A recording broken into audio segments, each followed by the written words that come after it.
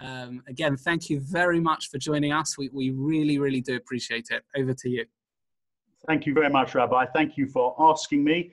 Um, you asked me to talk about a topical uh, subject. What could be more topical, at least for lawyers, uh, than how are the criminal and the civil courts coping with COVID 19 and the uh, crisis?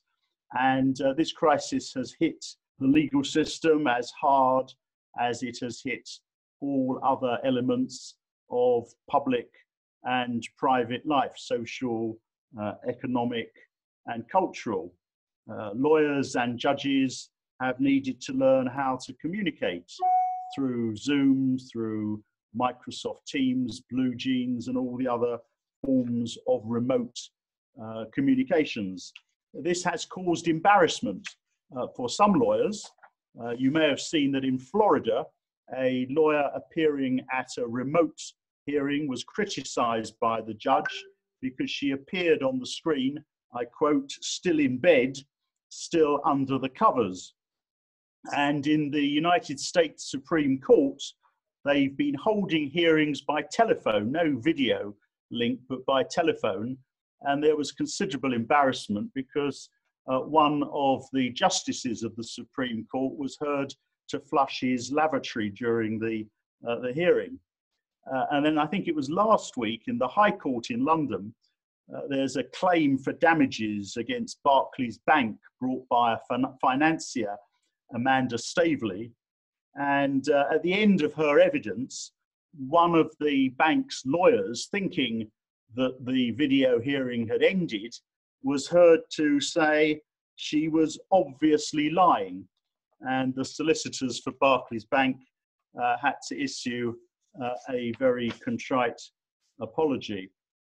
So, what's the position in, in, in the courts and the top down? Well, the Supreme Court has held no hearings in its courtrooms since March.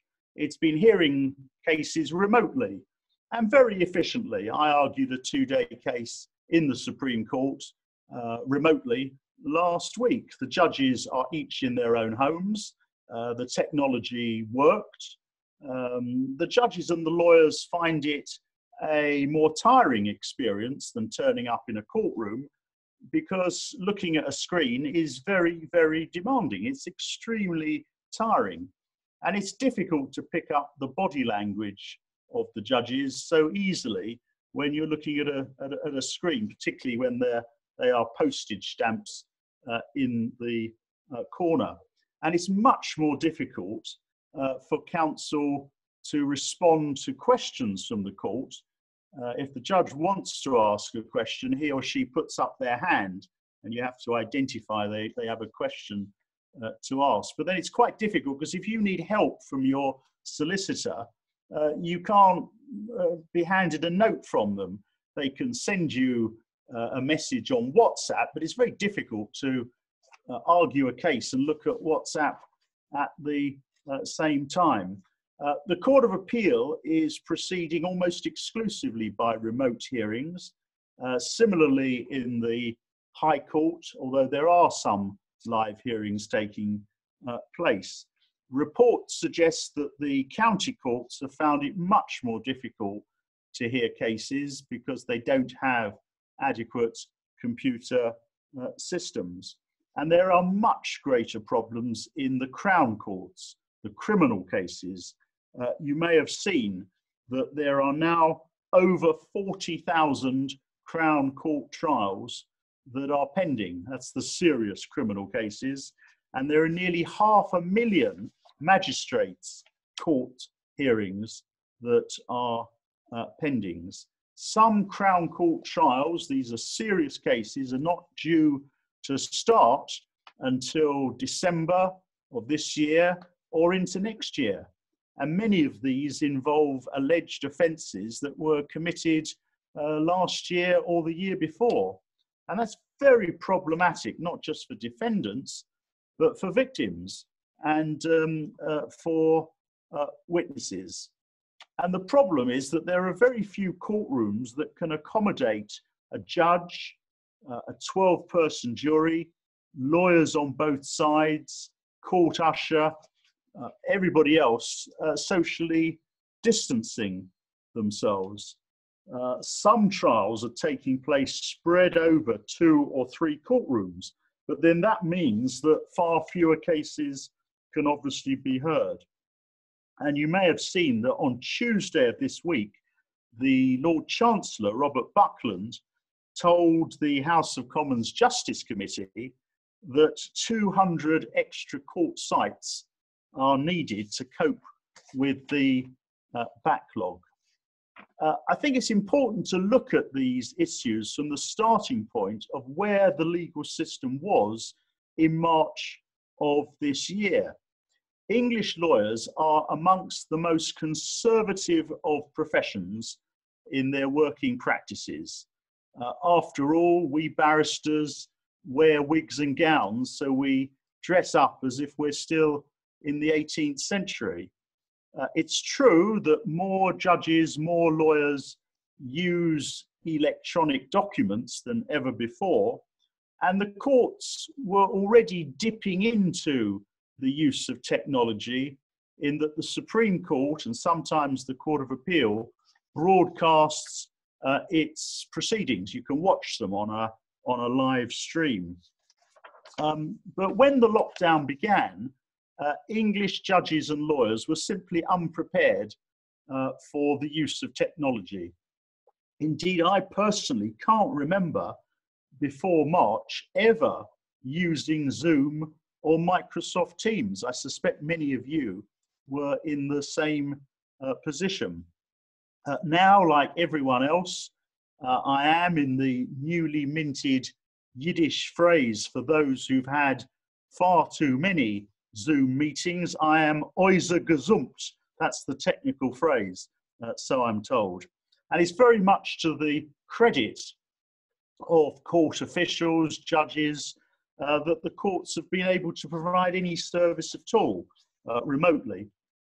Uh, it seems to me, and you may want to discuss this with me, there are three main problems that arise, three main issues. The first of them is the need for accurate and up to date information about what precisely is going on in the courts. How many cases, civil and criminal, have been heard?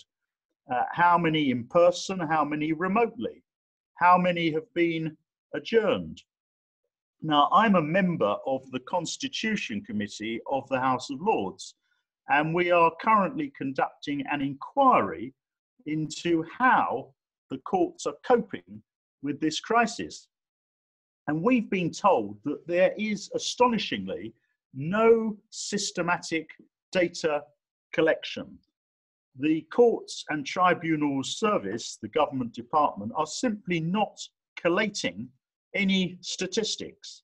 And I find that quite astonishing because it means we all have to rely on anecdotal evidence, uh, on reports from interest groups such as the Bar uh, Council.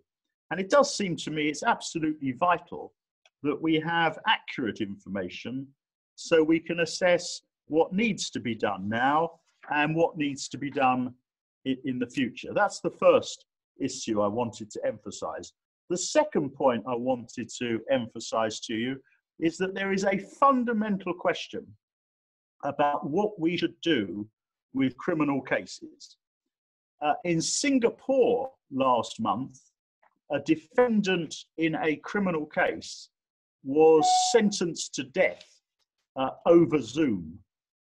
Now, um, we may be getting we may be getting accustomed to Zoom meetings, but I doubt that any of us would think that major criminal trials should be conducted by Zoom uh, in this country. Preliminary hearings, perhaps, but if you're going to have a criminal trial where someone can be sentenced, not here, of course, to death, but to many, many years imprisonment, it's surely inappropriate to do it uh, over a Zoom uh, link.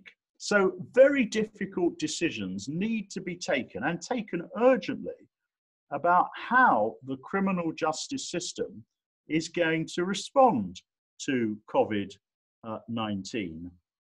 Uh, and um, the question really is should more cases be heard in a magistrate's court where you've just got a bench of one, two, or three magistrates, and so social distancing is not such a problem? Uh, should we reduce the size of the jury from 12 down to six or seven uh, jurors? Uh, at present, there are criminal cases which must be heard uh, by juries because of their seriousness. And there are other criminal cases where a defendant has the right to elect to be heard uh, by a jury. And there are very, very limited exceptions to jury trial. Uh, there were uh, trials by judges alone in Northern Ireland for terrorism, alleged terrorism offences. And there's currently a law that allows a judge alone to hear serious cases uh, where there's a suspicion that the jury's been nobbled, uh, jury tampering. But subject to that, we proceed on the basis of jury trial for uh, uh important cases. And the Lord Chancellor, Robert Buckland, told the House of Commons Justice Committee earlier this week, it was on Tuesday, that hearing uh, trials by a judge and two magistrates without a jury would provide an extra 40% capacity uh, for the criminal justice system. Uh, and he said if you reduce the number of jurors from 12 down to seven, that would increase capacity by only 10%. Uh, now, it's a very serious matter to do away with juries, it seems to me, not least because magistrates are older, they're whiter, uh, and they're more conservative uh, than the average uh, jury. The chairman of the bar pointed out that the average age of a magistrate is 58.8 years old, and only 6% of magistrates, 6%, are under uh, 40. So I think to remove the role of the jury in deciding criminal cases would be a very regrettable step. The jury is the community. The law depends on consent, and the jury is an important protection uh, against those who impose the rules. I think it would be acceptable to say that if a defendant prefers to be tried by a judge and magistrates, then that's fine. Uh, if the defendant is prepared uh, to uh, to do that, but I'm very doubtful that the rights to jury trial should be removed in serious uh, criminal cases. So it's a real a real problem, a real difficulty. That's the second issue. The third issue I wanted just to mention is whether the experience of the courts in using remote hearings, Zoom hearings, during the crisis should lead to a permanent change in the way that we conduct legal business. Uh, the guru of remote court hearings, the man who's devoted his life to it, is my friend Professor uh, Richard Susskind, who lives in Radlett. Uh, and he has said that until this year, until this crisis, he thought it would take a decade for courts to embrace technology. Uh, then he wrote, then the virus came, courts closed, and it only took a fortnight. Uh, the question now, as Professor Susskind says, is whether people really need to gather together in a building to settle legal disputes, civil legal disputes. And the Lord Chief Justice, Lord Burnett, has said he thinks there's no going back uh, to our old ways of working. Uh, this pilot project that's been forced upon us uh, is going to have permanent uh, effects. Uh, and I think that's right. I think it's going to mean many, many more remote hearings as a permanent feature of dispensing justice, not dispensing with justice, but dispensing justice. Uh, that does not mean that the Old Bailey will close down. It doesn't mean that the Supreme Court will close its doors. Uh, it means, for example, that preliminary hearings uh, can be conducted much more efficiently by a remote process. Uh, it's surely unnecessary for all the parties and all their lawyers to travel uh, to attend a physical courtroom and then wait to be heard for a 15 minute preliminary hearing. That is a very odd way, a very inefficient way of conducting legal business. And perhaps small claims too, perhaps when they're not complex uh, cases, uh, and that's true of the vast majority of, of, civil cases, perhaps they can be conducted uh, online. So we need to look at the legal system and we need to ask ourselves what type of cases demand a physical hearing in a courtroom. Uh, for what cases is a video hearing appropriate? And when will a paper hearing suffice? That you put in your legal arguments online uh, and the judge determines the case uh, online. There's going to need to be a massive investment in the court system to ensure that computer facilities support remote hearings whenever they're needed. And the courts at the moment, uh, particularly at the, the lower levels, simply don't have adequate computer uh, facilities.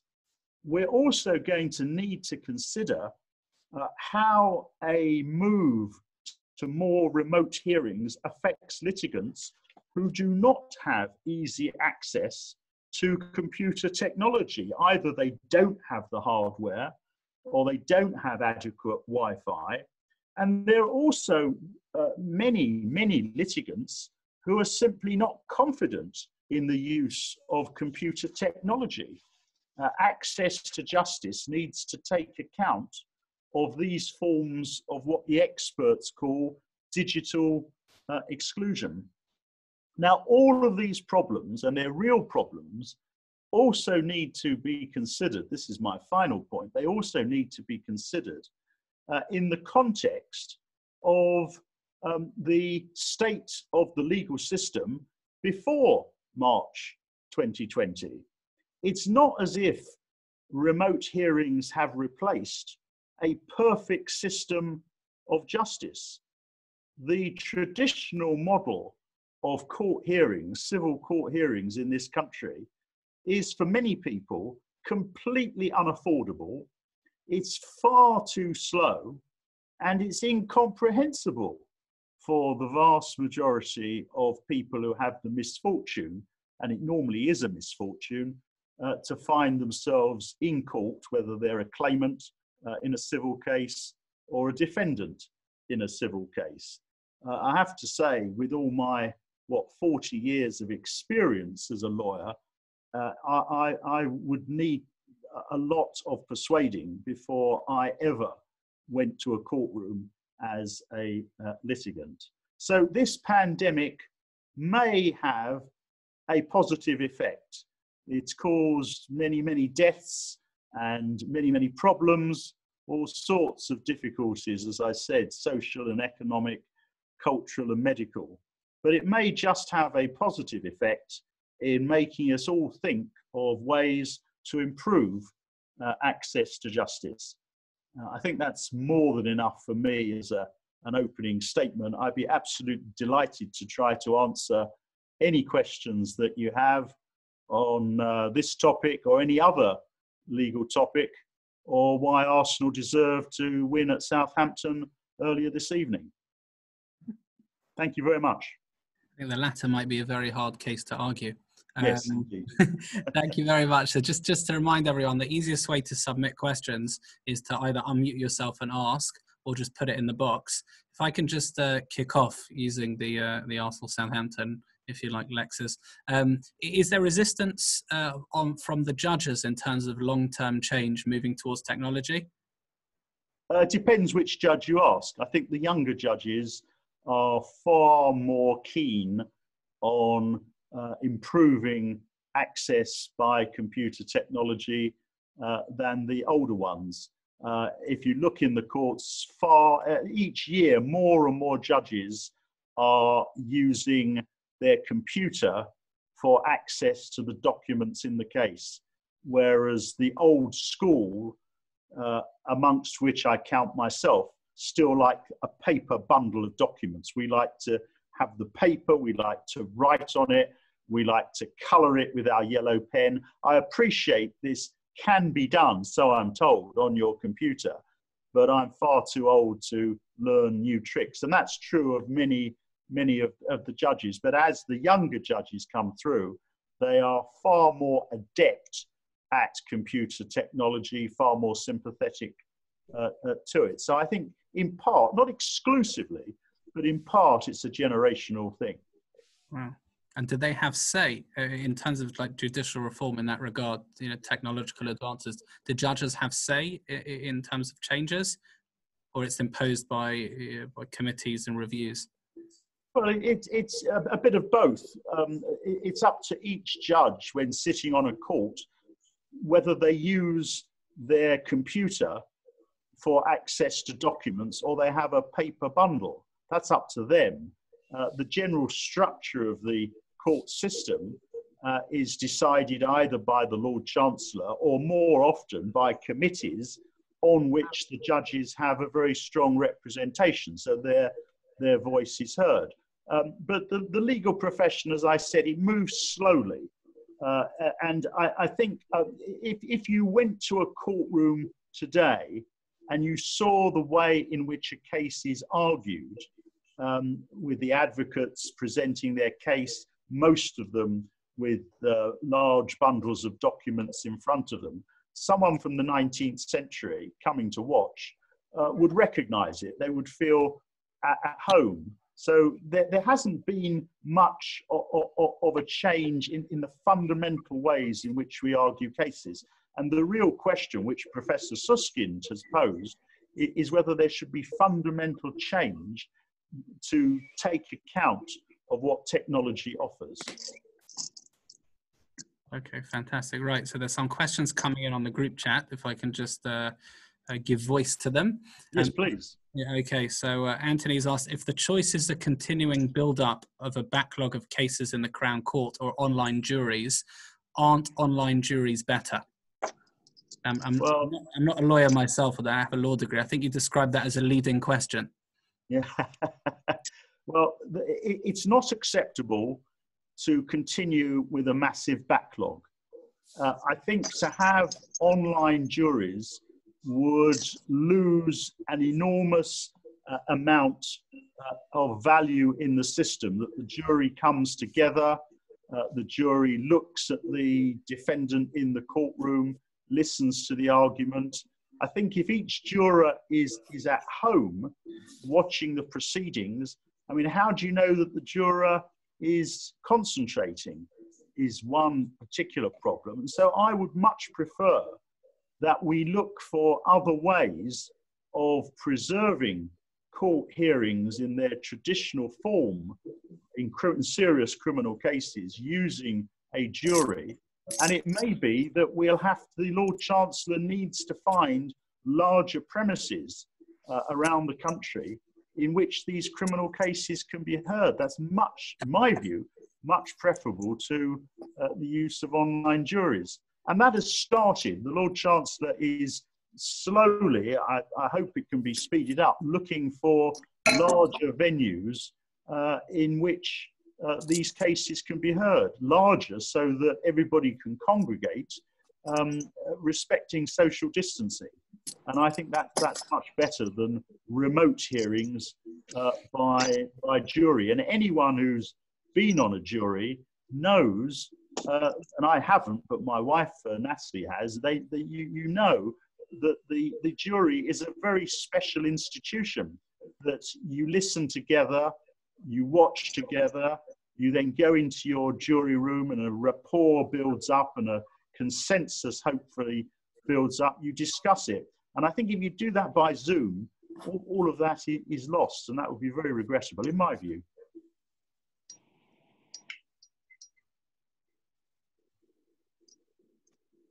You're, you're muted, I've Rabbi. muted myself, gosh. Yep. First for everything. Um, okay. Um, uh, ben, did you have a question? I did. I had a point I wanted to raise. Lord, Lord Pannick, you referred to um, younger judges. Uh, I'd like to think perhaps I'm I'm in that category. Oh. I'm, I'm I'm at the bar. I specialise in uh, matrimonial finance, and I also sit as a deputy. So I have. You say you have obviously you have more experience of the, the higher courts. I spend my days trekking around the bottom tier county courts. So I sit in the southeast. I practice in the southeast, largely M25 corridor, but frankly, anywhere my clerks send me, you know the drill. Right. And um, amongst all of my colleagues, we've our chambers has effectively become online since since COVID, as all of yep. them have. And amongst all of my colleagues and all of my judicial colleagues, and I, I want to make sure Lord Pannick that you're aware of this, there is a huge disquiet and concern that this is, as you say, going to be utilised by a government who's keen on cost saving to move the courts uh, uh, effectively online. And I hear your friend with Richard Susskind. Um, Richard Susskind gave evidence, I believe, to the Select Committee, I might have been wrong about that, where he said, and I was sitting in court on the day, where he said that uh, um, it was going well and he did anecdotally people were very happy with the experience. And I was having lunch with the judiciary uh, that day. We spoke about it, and we were all amazed that he had heard that anecdotal evidence. Because all the anecdotal evidence I have heard is that everyone is extremely unhappy with it. And, and can I uh, just uh, ask? Can I just ask? Yeah, is, is, is that because um, the sort of cases you're talking about involve evidence, disputed evidence from witnesses, which needs to be assessed uh, uh, over a video link, or, or, is it simply legal argument that you're you're, you're presenting and, and, and there are. I am. You spoke about being. Um, I'll answer the question in a slightly different way. You, you spoke about judges being um, comfortable with technology. I consider myself to be extraordinarily comfortable with technology. I don't use paper, for example. I'm talking to you on the right. very iPad that is the source of my electronic bundle. I do all of my work on this iPad. I do Zoom on the screen. I, am not a technophobe. Far from it. I'm probably the opposite of a, of a technophobe, whatever that yeah, probably is. Yeah. Technophile. Um, the, the concern is multifaceted. But the overarching concern, I can give the specifics, it's probably too much detail to go into the, within the context of this conversation. Yeah. But the overarching concern is that there has been very little, or if no, proper consultation about this. Yeah. That's the concern. And so, um, for example, I don't know if you're a member of one of the, of the Twitterati, but the legal Twitterati out there. So the concern at the moment over the last couple of days is uh, the plan to extend courts for uh, evening, early morning and weekend hearings to clear the backlog. Yep. The Family Law Bar Association is up in arms about that, I have to tell you. Uh, the other concerns are about, as you say, uh, the wider concerns about remote hearings are testing evidence, of course, very difficult to do remotely. Yeah. Although we're all, I've cross-examined many a witness who's abroad by video link, so you know we're used to that. But rolling it out across the board is is not great. Yeah, but it's never satisfactory, is it? Sometimes it's necessary. Sometimes to, it's necessary. To cross-examine a witness over a video link is is a yeah. very unsatisfactory method of identifying evidence but to consider the kind of work that I'm doing, for example, so I'm doing matrimonial finance work, and um, hopefully no one will, ever have to cross my door or come across the kind of work I do. It's not pleasant, but we have a type of hearing which Lord Pannick you may or may not be familiar with called the FDR hearing, negotiation hearing. Yeah, yeah. Uh, uh, uh, it, it is more commonly being rolled out amongst civil cases as well. But yeah. the idea, of dealing with those remotely, a negotiation hearing at which parties are, are it's impressed upon them the need to try and settle. The arguments are rolled out. The, the court expresses its preliminary views in a, in a privileged, without prejudice way. It's, it's extraordinarily difficult to deal with that efficiently and effectively remotely. Yeah. Um, I have no difficulty, and I say this both from the perspective of someone who sits and someone who practices, short interim hearings, directions hearings, yep, yep. perfectly suited to remote hearings. As a judge, I've been doing them all on the telephone. Yeah. And that's fine. But anything beyond a very basic directions hearing, it's totally inappropriate to deal with them remotely. No, well, that's, that's, that's, very helpful. I mean, I, I, I understand entirely what you say. I mean, I have a case on Monday, next Monday, yeah. in matrimonial finance before Mr. Justice Moor, and Right. uh, but it's only a preliminary hearing. It's going to be Yeah. conducted by video. But uh, I, I entirely understand and, and I agree with your point that it would be very unsatisfactory to have the substantive hearing, uh, which will involve detailed and, as you say, inevitably unpleasant uh, allegations and denials um, heard over video proceedings. You, you want the witnesses uh, in court. Um, I, think you're right. Part of the problem here is a lack of consultation. It's an aspect of what I've already referred to, which is the uh, the absence of, of, of information, of, of detailed evidence gathering. And I think you're also right that the crisis will encourage the Treasury, who, uh, whose only concern is the saving of money, to think that um, uh, rather than pay for expensive buildings and staff in those buildings, uh, you just need a, a video link, which is much cheaper than the old style. So there are those, those dangers. Um, I'm not suggesting, I'm not, I'm not a fully paid up member of the Professor Susskind team. I'm merely No. suggesting that there are some hearings, such as preliminary hearings, which will continue to be done by, by video. But there are many, many hearings in the civil area, and you've mentioned some of them, which I agree would be wholly inappropriate. And I very much hope that there will be a proper consultation uh, before there are any permanent changes. Yeah, I mean, uh, the short point before I finish, just so you're aware, there's a strong concern amongst the district bench, for example, that the district bench are all going to end up dispensing judge, uh, judgments and justice from cubicles in large buildings with video links. It's a horrible thought. It's a horrible. horrific thought. Yeah, Yeah, it's, a, yeah. it's a terrifying thought. Yeah, yeah. No, well, thank you for that. Okay, thank you. So I, th- thank you, Ben. Um, I, we've got another couple of questions. Um, Jeremy, you had a question? I did. Thank you, Rabbi Fine. Lord Pannick, many thanks for uh, for joining us tonight. Um, just before I ask my question, as a solicitor, I can uh, certainly relate to your uh, your assertion that us British lawyers are uh, the most conservative of professionals. That aside, um, my question relates to when you acted for Debbie Purdy in Yeah. her challenge um, of the Director of Prosecutions in I think it was 2008, um, when um, you were looking at infringement of a human right, rights for failing to clarify how the Suicide Act was enforced. Um, something the law lords then, I think, accepted that she had a right to know whether her husband would be prosecuted if he travelled abroad and helped to, to commit suicide. Um, Keir Starmer, when he was uh, Director of Prosecutions, um, said, um, and I'm quoting here, that we've arrived at a position where compassionate amateur assistance from nearest and dearest is accepted, but professional medical assistance is not, unless someone has the means and physical assistance to get to Dignitas. Um, and that, to his mind, was an injustice that we've trapped within the current arrangements. So, my question after all that is how close are we to an assisted suicide bill or, or in truth, statute? Yeah, well, it's a very interesting question. It's a very long standing problem. As you say, Debbie Purdy, my client, suffered from multiple sclerosis. She knew it was uh, uh, a disease, a condition that would inevitably lead to her death. She didn't know how long away that would be. Uh, she didn't want to, understandably, didn't want her suffering to be prolonged at the end of her life. And she wanted her husband, who cared for her, loved her, to be able to assist her to die when the time came. And under English law, that is a criminal offence. And what some people do is that they go to Switzerland to Dignitas uh, earlier when they're still able physically to go, uh, so that uh, they, they can end their lives. And they have to do that uh, and shorten their lives from what it would otherwise be. And uh, I acted for her, as you say, the appellate committee of the House of Lords said that the DPP, then Keir Starmer, whatever happened to him, uh, he um, was obliged to have a policy in relation to these matters. But the issue hasn't gone away.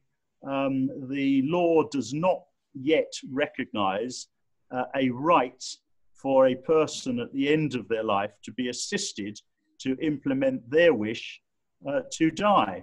It's a very odd position because if I want to, I am per, and I'm of sound mind, I am allowed, as a matter of English law, I say nothing about Jewish law. Rabbi Fine will tell us the position under Jewish law, but under English law, uh, I'm perfectly entitled to starve myself to death. I'm, uh, I'm perfectly entitled to jump off a cliff. And if I fail, I can't be prosecuted for uh, attempting suicide. It's no longer a criminal offense since 1961. What I can't do uh, when I'm incapacitated uh, physically incapacitated but mentally alert, I cannot say, uh, I would like my nearest and dearest to help me to end my suffering. And I personally think that that, that, that is wrong. It's a very difficult problem because you obviously have to prevent uh, people taking advantage of this to impose pressure on, uh, on Granny. Uh, that Granny, isn't it time that we uh, assisted you uh, to die. I mean, you've got to be very careful indeed. And therefore, those who propose a change in the law uh, take the view that um, this should only occur if the matter has gone to a judge who has satisfied themselves that the person who is afflicted uh, is mentally and physically able to make this decision. Um, you asked the question, how close are we? Well, I'm afraid I don't think we're very close. The courts have said this is a matter for Parliament. And Parliament looked at it two years ago in the House of Commons and voted overwhelmingly that um, uh, the law should remain. Uh, a proponent of change and a very eloquent proponent of change uh, is Daniel Finkelstein, who you mentioned had um, been your speaker last week. And he wrote what I thought was a very powerful article on this subject in the Times, uh, I think it was last week. Um, and he made many of, of the points I've, I've just uh, uh, summarized. And he said that he thought Boris Johnson was sympathetic to a change in the law.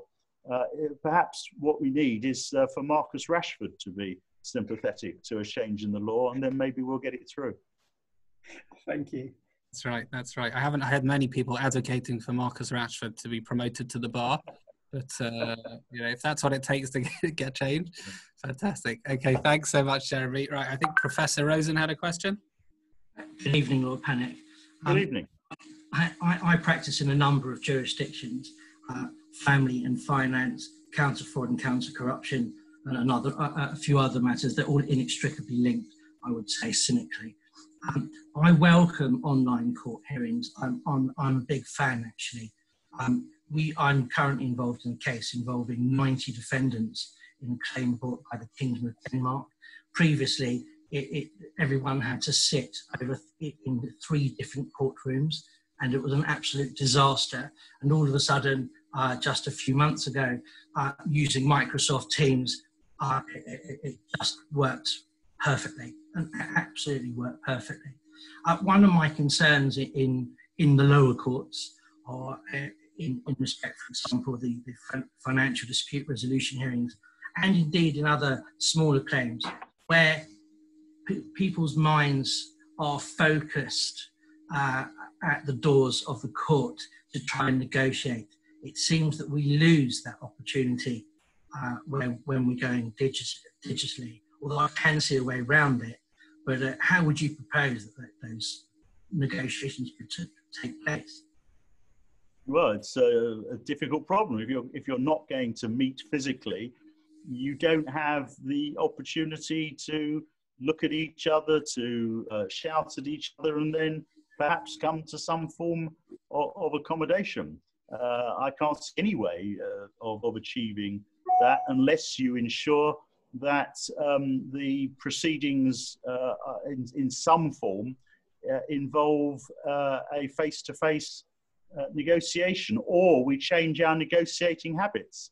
In many areas of life, negotiations are not conducted face to face, they're conducted online. I mean, if you're negotiating to buy a house, um, you, you, you start off with your offer and the vendor tells you how much they want and you, you negotiate. So you very rarely meet them, at least in my experience. Um, so it is possible, but I agree with you. There are advantages of um, face-to-face uh, hearings. That's one of them. Uh, I think it's a question of assessing whether those advantages really justify all the costs and expense of everybody coming together in a physical in a physical courtroom. But your, your question and the um, competing questions that were put by, uh, I think, by Ben Fearnley just a few moments ago demonstrate just how controversial this is. That both of you are operating in different areas of, um, uh, of matrimonial finance, and you take radically opposite views as to the merits and defects of this system. And this is part of the problem that one really needs to have the most careful possible assessment of all the advantages, and there are advantages, and all the disadvantages, and there are disadvantages of moving uh, towards remote hearings and in what areas. The, the position at the moment is that remote hearings have been imposed upon us, uh, and they've been imposed upon us because the alternative was, uh, in many cases, no hearings at all. So uh, that's why we're, we're where we are. But for the future, I think we, we do need to consider advantages and disadvantages. And my position at the moment, my position is I think that there uh, is room for remote hearings, but I'm far from convinced uh, that they're appropriate for uh, substantive uh, determination of issues uh, that turn uh, on credibility, for example, where witnesses need to give evidence. But I can see that um, it is possible to conduct hearings uh, even where you've got witnesses, even where you've got credibility online. It is possible. And some people say that it's easier to assess whether or not the person who is talking is telling the truth if you're looking into their face close up uh, than if they're six or eight feet away from you uh, across a, courtroom. You know, I, I can call up whichever of you is talking and I get a pretty big picture uh, of, of, you, and I can gaze at you without the social embarrassment that um, a judge or juror would have if they were gazing at the at the witness in the same intense manner. So you know, swings and roundabouts.